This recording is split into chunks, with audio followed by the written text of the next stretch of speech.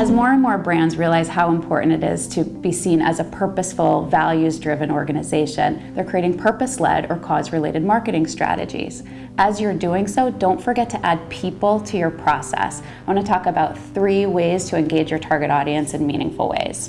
The first is when you're developing your focus. You want to understand what issues your target cares about, what they want to get behind, and more importantly, what they would expect your brand to tackle. The second is as you develop your ideas. As you create your issue related promotion, partnership, or programs, vet it with your target to see what resonates and inform how to make it work even better. Lastly, and most importantly, when it comes to execution, include a clear, simple call to action that invites participation by your audience to help in solving whatever issue you're working toward, rather than just telling them what your brand is doing about it. People want to participate, they expect to be engaged today, and if you do, you'll have a more profound impact on both your business and society.